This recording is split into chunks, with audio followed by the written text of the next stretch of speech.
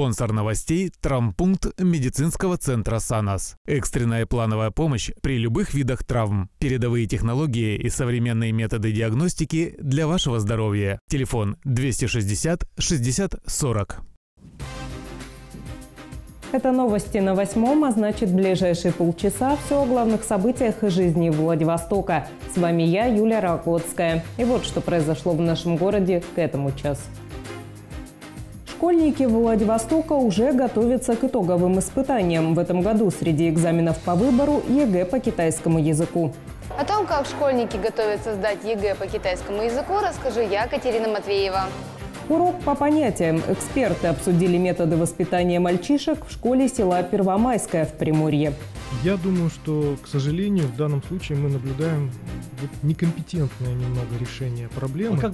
События русско-японской войны вспоминают в Приморской картинной галерее. Здесь открылась выставка художников-баталистов на сопках Манчжурии. Мы, как художественный музей, а, не могли остаться в стороне. Также в выпуске. Дальневосточникам стоит быть внимательнее с деньгами. 13 финансовых пирамид насчитали в регионе. И еще расскажем, музыка объединяет. Во Владивостоке прошел первый инклюзивный рок-фестиваль. Но об этом немного позже. А сейчас о главном. На должность главы Владивостока претендует уже 31 человек. Сразу 11 подали документы в городскую думу еще в пятницу, сообщает информагентство «Владньюз». Среди кандидатов на пост мэра действующий градоначальник Олег Гуменюк. Напомню, прием документов на должность главы Владивостока стартовал в прошлый вторник. Конкурс проходит в два этапа. Первый этап состоится 12 марта. В этот день комиссия проверит достоверность сведений, которые представляют кандидаты. Второй этап 18 марта – это индивидуальное собеседование с претендентами. Имя мэра станет известно в последних числах марта. 68 домов планируют капитально отремонтировать во Владивостоке в этом году. Такая цифра была озвучена на очередном заседании Общественного совета по вопросам ЖКХ. В городе насчитывается 3,5 тысячи многоквартирных домов. В прошлом году полностью завершены и оплачены работы по 72 домам. На заседании подчеркнули, что фонд обязан делать все возможное для того, чтобы были отремонтированы все запланированные многоэтажки, а работы в них были были самого высокого качества. В рамках программы формирования во Владивостоке современной городской среды планируют освоить 123 миллиона рублей и отремонтировать на эти средства 35 территорий. Еще одна программа, которая в этом году будет реализована в приморской столице «Тысяча дворов». Ожидается, что за счет средств краевого бюджета в городе отремонтируют 317 придомовых территорий. Ликвидация большой нелегальной свалки идет в районе Змеинки во Владивостоке. Муниципальное предприятие содержания городских территорий приступило к уборке вдоль дороги, ведущей от улицы Кипарисовой ко второй поселковой. Мусор сюда свозят компании, которые берут деньги у жителей за вывоз строительных отходов, но попадают они не на полигон, а на ближайший пустырь. Теперь десятки тонн бытового и строительного мусора, а также старые автомобильные покрышки вывозят на полигон твердых бытовых бытовых отходов для дальнейшей утилизации. Стоит отметить, что только в январе текущего года во Владивостоке ликвидировано 27 незаконных свалок и 850 тонн мусора. 13 финансовых пирамид насчитали на Дальнем Востоке за год. Таковы данные Дальневосточного управления Банка России. Девять из них были зарегистрированы на территории Дальневосточного округа. Четыре в Якутии, по две в Приморском крае и Сахалинской области, одна в Хабаровске. Привлекали средства дальневосточников и нелегальные организации из других регионов. Маскировались пирамиды под самые разные организации – общества с ограниченной ответственностью, кооперативы, интернет-проекты проекты. Была также выявлена пирамида, которая действовала в форме микрокредитной компании. В общей сложности за прошлый год банк выявил на финансовом рынке 134 субъекта безлицензионной деятельности. Банк России в 2018 году выявил 168 организаций, которые имеют признаки финансовой пирамиды. За период с 2015 по 2018 год Банк России выявил 658 организаций, которые осуществляли деятельность финансовой пирамиды. Отмечу, проверить легальность работы участника рынка может любой желающий. Нужно уточнить наличие у компании лицензии Банка России, либо узнать сведения о ней в соответствующих государственных реестрах. Тем временем несколько случаев мошенничества зарегистрировано в торговых центрах приморской столицы. Так сотрудники полиции задержали подозреваемого в совершении серии преступлений. Ранее полицейским Первомайского района поступило заявление от продавца бутика. Женщина сообщила, что неизвестный завладел ее деньгами обманным путем. Мужчина пришел в магазин в районе улицы Черемуховой, представился поставщиком товара и получил 15 тысяч рублей от потерпевшей. Сотрудники полиции установили личность подозреваемого. Им оказался 39-летний ранее судимый житель Хасанского района, который позже был задержан. 39-летний ранее судимый за мошенничество мужчина заходил в различные магазины краевой столицы и, представляясь менчендайзером, знакомым директора либо поставщиком, путем обмана получал от потерпевших деньги. Возбуждены уголовные дела по статье «Мошенничество». Санкция предусматривает наказание в виде лишения свободы на срок до пяти лет. В настоящее время сотрудники уголовного розыска проверяют подозреваемого на причастность к иным преступлениям. Гражданам, пострадавших от противоправных действий данного мужчины, полиция просит обращаться в органы внутренних дел. Совет по правам человека при президенте просит губернатора Приморья Олега Кожемяка принять экстренные меры для сохранения жизни и здоровья касаток и белух в китовой тюрьме в бухте Средняя под Находкой.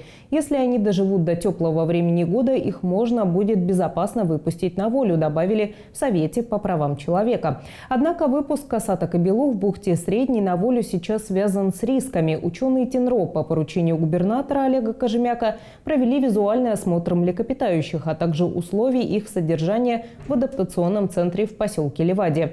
Эксперты пришли к заключению, что состояние животных удовлетворительное, однако их выпуск может привести к гибели. При этом условия содержания касаток хорошие, животные здоровые и хорошо питаются. Отмечу, в Центре адаптации морских млекопитающих в бухте Средняя уже более полугода содержится 11 касаток и 87 белух. В данный момент ведутся следственные действия по поводу законности их вылова. Кириллова. Ученые подчеркивают, что выпуск в дикую природу уже адаптированных к обитанию в вольерах животных, перешедших на искусственный корм, связан с рисками для их жизни. Российским школьникам впервые в этом году предоставят возможность сдавать ЕГЭ по китайскому языку. Это особенно актуально для учащихся Приморья – чей ближайший сосед именно Китай. Напомню, для получения аттестата о среднем образовании старшеклассники обязательно должны сдать русский и математику. Еще 9 предметов – физика, химия, биология, география, история, обществознание – и другие предлагаются ребятам на выбор. Школьники сами решают, какие дисциплины им пригодятся при поступлении в ВУЗ. Кроме китайского, для сдачи доступны английский, французский, немецкий и испанский языки. О том, как школьники готовятся к новому экзамену, расскажет Катерина Матвеева. 我喜欢学习韩语，你呢？我也很喜欢。你想去中国吗 ？Средняя школа номер 9, несмотря на то, что носит статус общеобразовательной, вовсе не простая, а специализированная. Здесь дети учат китайский язык с ранних лет, поэтому к выпуску уже свободно говорят и пишут по-китайски. Уроки у нас э, направлены на развитие навыков чтения, говорения, аудирования и э, грамматика. Стараемся охватить все аспекты за 4 часа. Да? Э, обычно в начальной школе это э, мы подключаем а, какие-то творческие номера для мотивации, учим песни, сценки ставим на китайском языке. Конечно, учить приходится много. Помимо четырех часов в классе, приходится корпеть над китайской грамотой и дома. Но ребята не жалуются. Многие из учеников школы планируют после выпуска уехать учиться и работать в Поднебесную. Я изучаю китайский язык более 9 лет. То есть на данный момент у меня имеется сертификат международный квалификационный чизкей пятого уровня. То есть это уровень уже студента, проучившегося в Китае более четырех лет. Да, безусловно, китайский язык, он очень сложен в плане грамматики, в плане писания иероглифов. То есть, допустим, пример можно привести, что в английском языке там буквы есть, там предложения, а в китайском языке, то есть, может один иероглиф иметь несколько значений. И в том, и в том же плане, то, что в китайском языке есть тональность, то есть четыре тона. И в зависимости от того, какой тон, то значение тоже слова меняется. То есть, безусловно, изучать очень трудно, и если человек собирается изучать китайский язык, то он определенно должен знать, на что он идет. Для меня китайский язык даже полегче, чем английский, потому что Ну, я имею художественное образование, у меня немножко, наверное, творческое мышление, и я в иероглифах вижу какую-то ассоциацию, какую-то э, ну, логическую последовательность. Вот. Поэтому иероглифы мне ближе, нежели там буквы и другие словосочетания. Вот. Я собираюсь поступать в Китай, ну и связать свою жизнь, наверное, с Китаем, с сотрудничеством с Китаем, с китайским языком. В этом году ученики будут впервые сдавать ЕГЭ по китайскому языку. В школу края уже поступила домоверсия тестирования. Экзамен будет содержать устную и письменную части. В первой проверяется умение детей разговаривать по-китайски. Вторая часть содержит задания по иероглифике, грамматике и лексике. Устная часть экзамена сложнее, потому что это реальные навыки общения детей на китайском языке. Письменная часть детям дается полегче. Ну, чтобы, было, э, чтобы дети успешно сдали экзамен, э, мы уже сейчас начали подготовку и прорешиваем тесты. Разговорные навыки развивают различными способами. Проводят викторины, мастер-классы, презентации и даже озвучивают мультфильмы. 不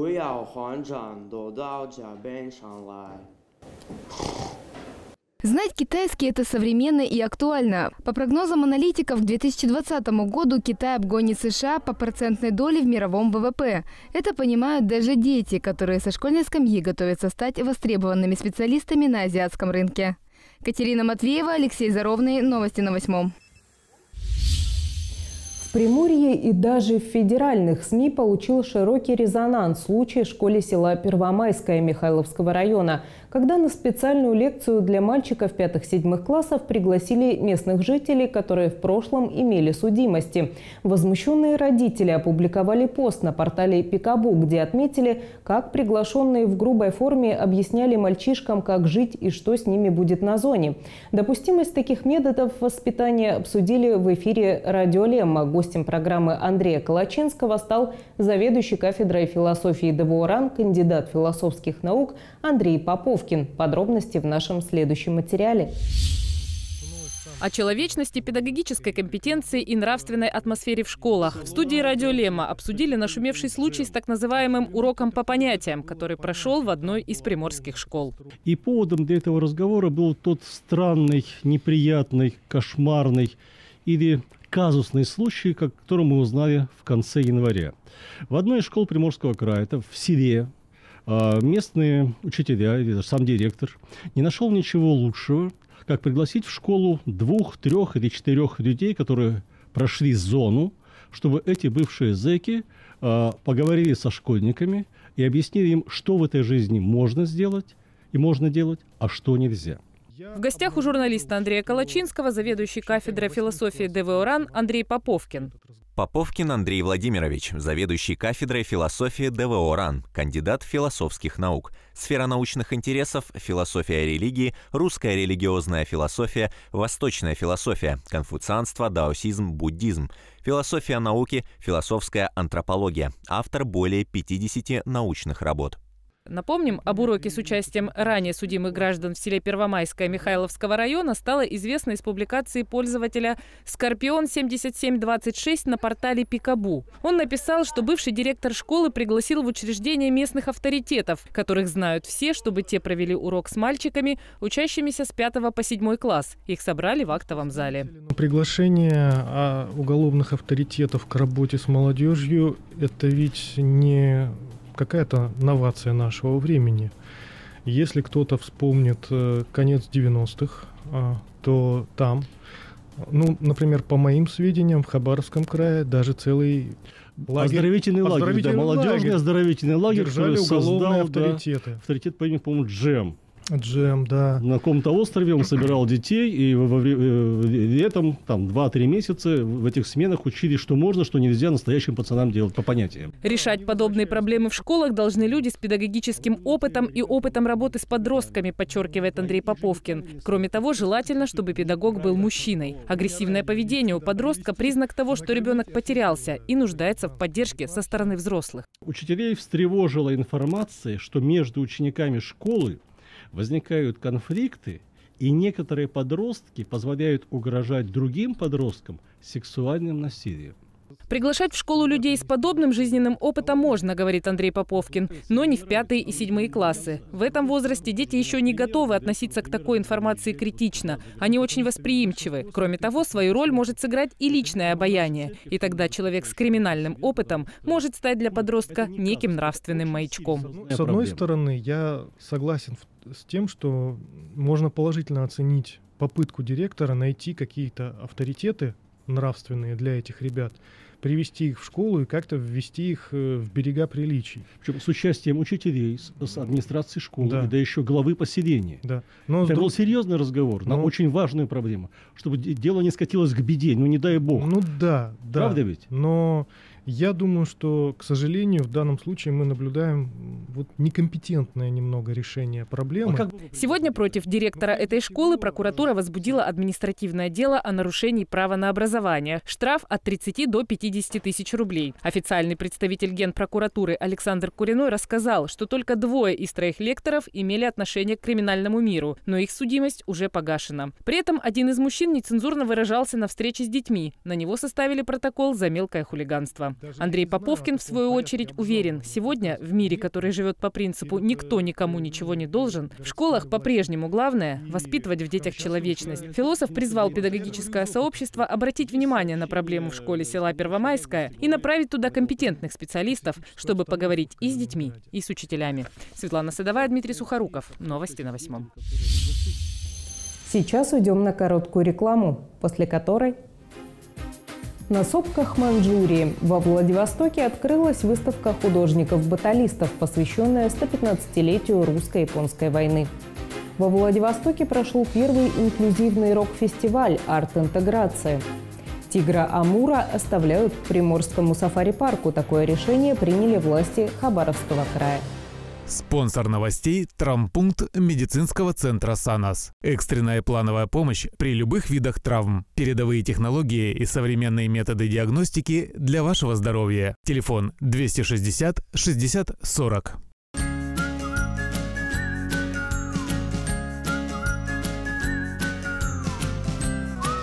Травмы и ушибы всегда возникают внезапно.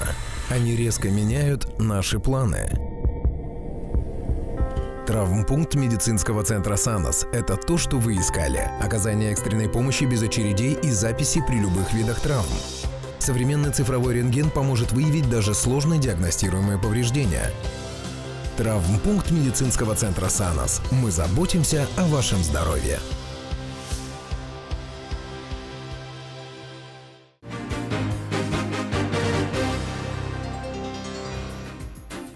Сегодня с вами Юлия Ракотская, и мы продолжаем. На сопках Манчжурии во Владивостоке открылась выставка художников-баталистов, посвященная 115-летию русско-японской войны. Во Владивостоке прошел первый инклюзивный рок-фестиваль «Арт-интеграция». Тигра Амура оставляют Приморскому сафари-парку. Такое решение приняли власти Хабаровского края.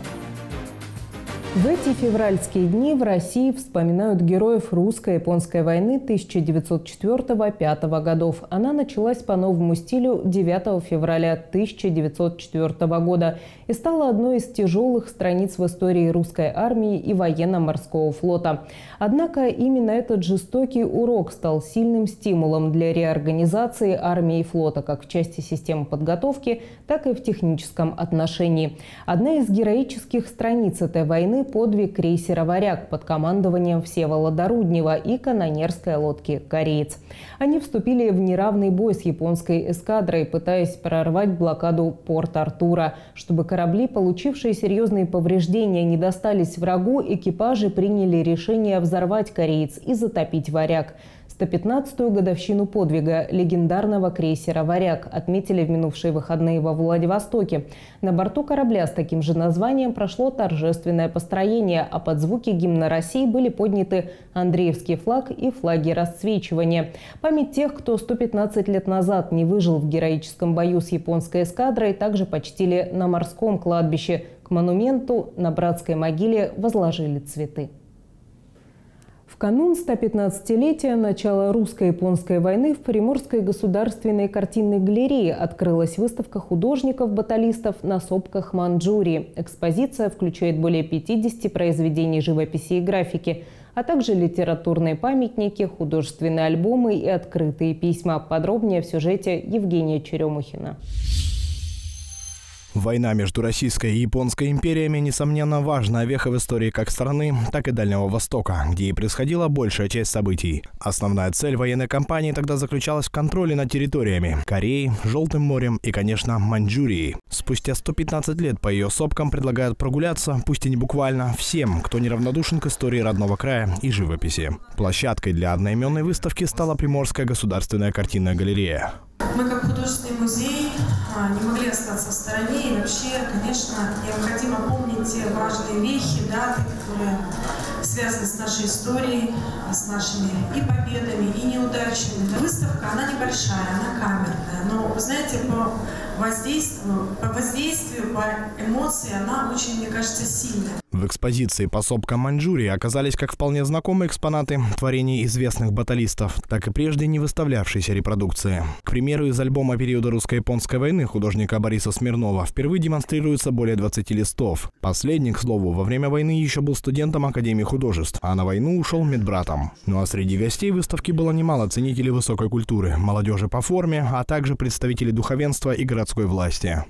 Город воинской славы, город Владивосток, неразрывно связан с теми событиями, которые происходили на протяжении очень длительного времени. И то, что мы делаем сегодня вот такими важными вехами, важными событиями, как открытие вот именно выставки, которая подчеркивает историческое значимое место города Владивостока, это для нас очень важно. Всего в выставке о русско-японской войне представлено больше 50 произведений живописи и графики. В центре экспозиции работа «Тюринченский бой» кисти Юрия Репина, сына знаменитого Ильи Репина, написанная в 1912 году. Выбор пал на эту картину, потому что бой под Тюренчином, который произошел 18 апреля 1904 года, стал первым значительным сражением в войне двух империй. Кроме картин, выставка предлагает гостям окунуться в атмосферу старины через литературные памятники, образцы печатной прессы тех лет, а также открытые военные письма. Экспозиция будет работать до 24 марта. Евгений Черемухин, Станислав Лазебный. Новости на восьмом. Консультации для детей-сирот по вопросам получения жилья проводят Приморье. Их организует Департамент образования и науки совместно с Департаментом земельных и имущественных отношений. Кроме того, сами дети-сироты также принимают участие в таких мероприятиях. Их включили в рабочую группу по распределению жилья. Это позволяет увидеть изнутри весь процесс заявителям лично поучаствовать в процедуре. Отмечу, в этом году на обеспечение жильем детей-сирот в бюджете Приморья заложено около 1 миллиарда рублей. Эти средства уже переданы муниципалитетам вместе с полномочиями по подбору жилых помещений. Музыка объединяет. Под таким девизом во Владивостоке прошел первый инклюзивный рок-фестиваль «Арт-интеграция». Исполнители с ограничениями по здоровью вышли на сцену. Фестиваль раскрыл разнообразие музыкальных стилей. На нем звучали разные направления, начиная от классической, скрипичной музыки до дэс-метал. Подробности у Дмитрия Беломестного.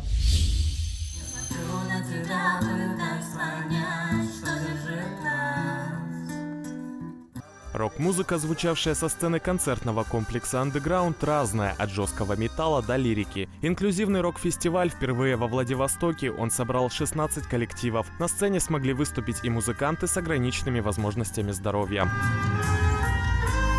Все направлено на то, чтобы обратить внимание и привлечь э, взгляд общественности к тому, что инвалиды такие же люди, как и мы, вот, хотя и требуют от нас внимания, помощи, какой-то доброты и так далее. То есть, ну, э, рассчитано на доброе, вечное, нужное. Рок – это стирание социальных границ и стереотипов. Он объединяет. Фестиваль дает возможность поделиться своим искусством, несмотря на ограничения по здоровью. Организаторы уверены, талант не определяется ни возрастом, ни состоянием здоровья.